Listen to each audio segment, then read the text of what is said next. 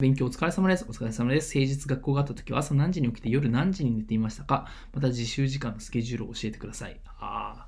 僕はですね、中高の話ですよね。中高の頃は、あの、進学校だったんで、あの、進学校っていうか、あの、横浜まで結構通ってたんで、8時20分に学校が始まってたから、僕覚えてるんですけど、6時35分の電車に乗ってたんですよね。6時35分の電車に毎日通って起きて、でも、まあ眠いじゃないですか。どっかのタイミングで寝てましたね。うん。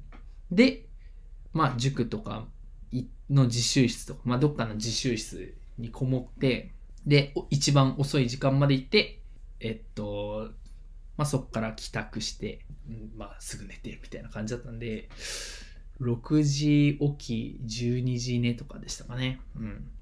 でも、間にどっかで仮眠を取るみたいな感じでした。で、自習時間は、空いてる時間は常に勉強してましたね。っていうのも、勉強以外正直することがあんまりなかったからっていうところが正直なところではあるんですけど、まあ、友達と遊ぶって言っても、高校3年生、まあ1、2年生の時は割と正直ゲームしちゃってたところはあるんですが、高3になったら周りの人も遊ばないので、うん。だからなんか、そうだね。進学校だからかもしれないですね。どうなんでしょう。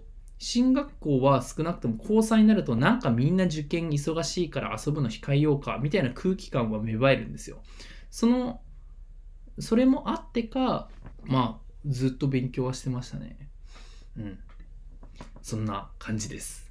だから、あの、環境って割と大事なのかもしれないなって思うので、まあ、あの、結局勉強どれぐらいすればいいのかどうかっていうのは、あの、自分の目標と自分の現在地との、からの逆算でしかないわけじゃないですか。もうすでに余裕なのであれば別にその勉強にコーデ、まあ、コーデっていうかこだわる必要はないわけじゃないですか。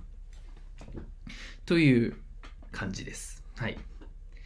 だから、あの、目標遠いなって思うなら、できる限り、もう無限時間やってください。はい。無限ってないけど。Thank you.